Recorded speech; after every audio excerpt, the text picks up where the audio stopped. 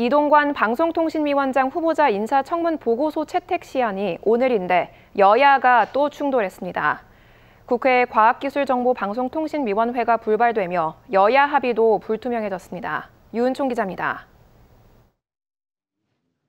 이동관 방송통신위원장 후보자 인사청문 보고서 채택 시한인 오늘 국회 과학기술방송통신위원회 전체 회의도 불발됐습니다.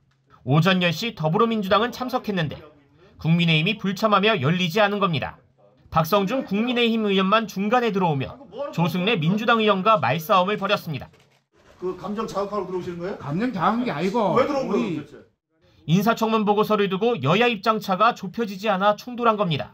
민주당은 일단 회의에서 논의하겠지만 절대 부적격이라고 확신하고 국민의힘은 보고서 합의를 하지 않는다면 회의도 열 필요가 없다는 입장입니다. 여야는 오전 회의에서도 이 후보자 임명 동의를 놓고 상반된 목소리를 냈습니다. 야당의 공세가 있었지만 그 무엇 하나 제대로 확인된 것이 없었습니다. 야당은 이제 그만 인사청문 결과 보고서 채택에 협력해야 할 것입니다.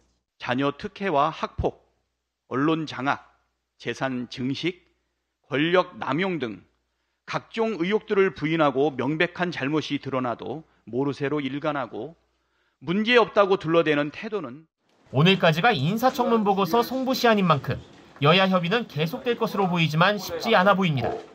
여야 입장이 서로 완강한 만큼 기한 내 보고서 채택은 사실상 무산됐다는 관측이 나옵니다.